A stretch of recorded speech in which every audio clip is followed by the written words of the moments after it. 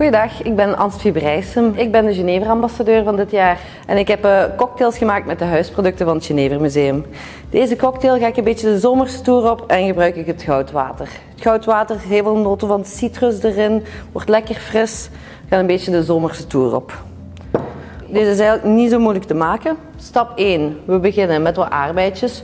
Twee of drie aardbeidjes gesneden doe je in het glas. Hangt ook een beetje af van de grootte eigenlijk van je aardbeien.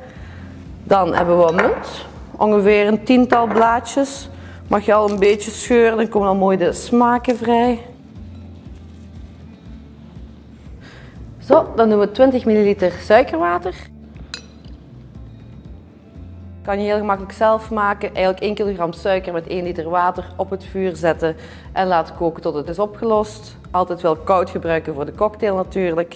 En dan gaan we dit even stampen, zodat eigenlijk schoon die smaken loskomen. Zie wel je stevig genoeg glas pakt, dat je niet je beste glazen gebruikt natuurlijk. Zo. En dan heb je al een mooie vermenging eigenlijk van de smaken. Zo, nu doen we er het ijs bij.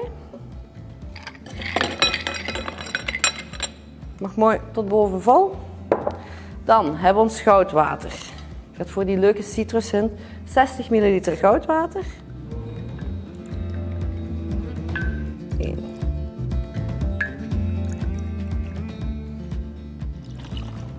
is altijd leuk dat je zo het eetbaar goud erin ziet.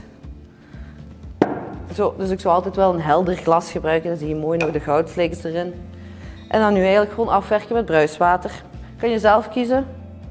Ik doe er meestal nog een 100 ml aan toe. Toch nog mooi eigenlijk de, het goudwater proeft. Voilà. Dus eigenlijk de cocktail is klaar. Kunnen we al de garnituurtjes. We gaan een rietje erbij steken. Even roeren. Dan zie je ook mooi de goudvlees een beetje schitteren. We werken nog af met een aardbeidje. Daar heb ik een snapje in gemaakt. Kan je dat mooi op de glasrand zetten. En nog een takje munt. Onze zomerse cocktail is klaar. Geniet ervan. Vergeet zeker niet de website te checken voor het bijpassend hapje met geitenkaas, pistachenoten en aardbei. Tjing!